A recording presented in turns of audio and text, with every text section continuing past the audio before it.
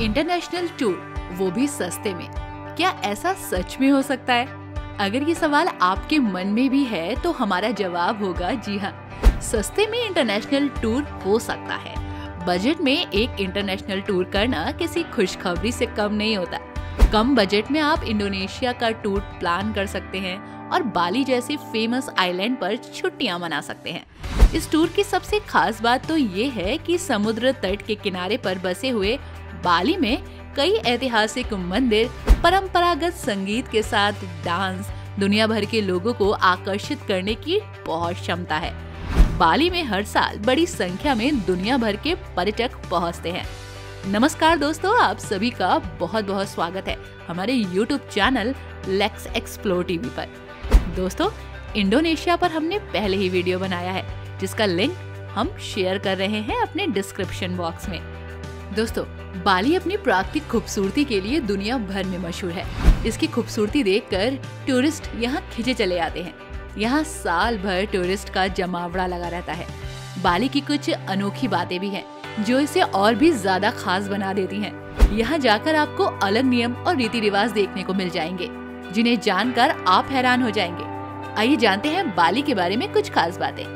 दोस्तों, बाली के आसपास कई सारे ज्वालामुखी हैं। जिसकी वजह से यहाँ कई जगहों की रेत भी काली हो जाती है। बाली में काली रेत के बीचेस होते हैं, जो दूसरे बीचेस से बिल्कुल अलग हैं। बाली के काले बीचेस टूरिस्ट को बहुत लुभाते हैं।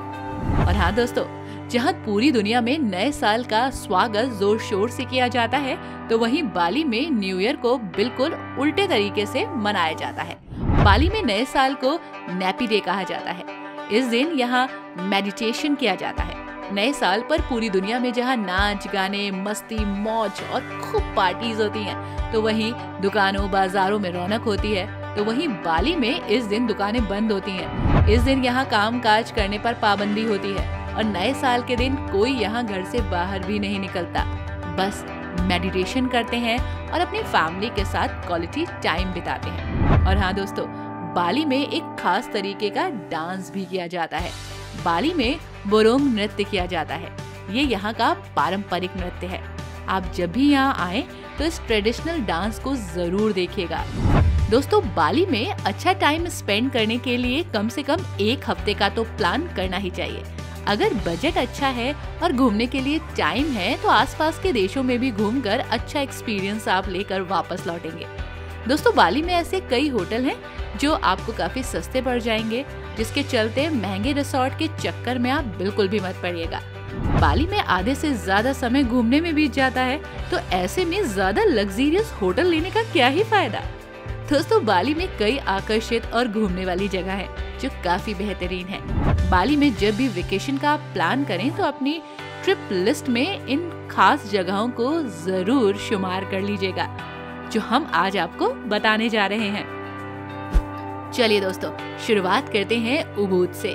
उबूद को द्वीप की सांस्कृतिक राजधानी माना जाता है। ये द्वीप पर सबसे महत्वपूर्ण संग्रहालयों का घर भी है।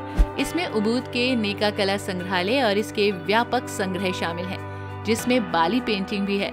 उबूत में हर दिन संगीत और नृत्य कार्यक्रम होते हैं। तनाहालोड जी हाँ ये भी बहुत खूबसूरत जगह है। बाली के सबसे प्रसिद्ध हिंदू मंदिरों में से ये एक है। ये लंबे समय से बालिनी पौराणिक कथाओं का एक अभिन्न अंग रहा है। ये सात समुद्री मंदिरों में से एक है दोस्तों। सभी एक दूसरे की दृष्टि में बहुत ही ज़रूरी हैं। दोस्तों, ये है उलुवातु मंदिर। बाली में यहाँ ज़रूर जाना चाहिए। ये हिंद महासागर के शानदार दृश्य के साथ एक चट्टान पर है। कल्पना कीजिए, यहाँ सूर्यास्त कैसा होगा। और इसके अतिरिक्त बाली में शीर्ष स्थानों के बीच एक प्रमाणित केकस नृत्य देखने को मिलेगा, जो कि विश्व प्रसिद्ध है। ये बहुत ही खास है और यहाँ के लोगों के द्वारा किया जाता है।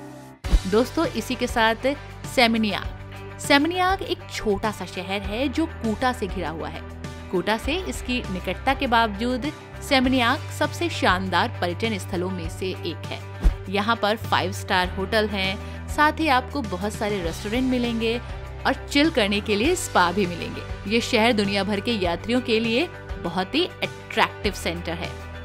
दोस्तों, बाली पर्यटक के स्वादिष्ट भोजन चखने के लिए आप सनूर में बैलिनी फ़ूड का आनंद ले सकते हैं। बाली आने वालों का स्वागत बहुत सारे स्वादिष्ट भोजन से ये लोग करते हैं। यहाँ के कुछ प्रमुख डिशेस की बात की जाए तो सी बटूट चिकन लेमन ग्रास सॉस केले में लपेट कर बनाई गई फ़िश डिश और सैंडविच बर्गर्स ये बहुत ही खास होते हैं।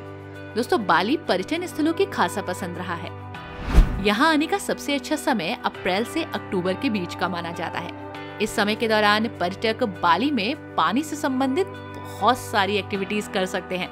खूब सारी मौज मस्ती कर सकते हैं। इसलिए जब भी यहाँ आए, थोड़ा समय लेकर आए और बजट को थोड़ा सा बढ़ाकर आए। आप देखिएगा, बाली की ट्रिप कितनी खास होने वाली है। दोस्तों, मोस्टली लोग बाली को हनीमून के लिए प्लान करते हैं, लेकिन आप यहाँ अपने दोस्तों के साथ, अपनी फैमिली के साथ चिल कर सकते हैं फुल एंजॉय कर सकते हैं। बाली है ही इतना खूबसूरत। दोस्तों, बाली की ये यात्रा यहीं समाप्त होती है। आपको ये वीडियो कैसा लगा हमें ज़रूर बताइएगा। चैनल को सब्सक्राइब करिएगा, वीडियो को लाइक एंड शेयर करिएगा। और हाँ दोस्तों, आप बाली कब जा रहे हैं, ये भी हमें कमेंट बॉक्स में ज़रूर बताइएगा। हमें इंतज़ार होगा। मिलते हैं आपसे किसी नई डेस्टिनेशन पर। तब तक के लिए bye bye and take care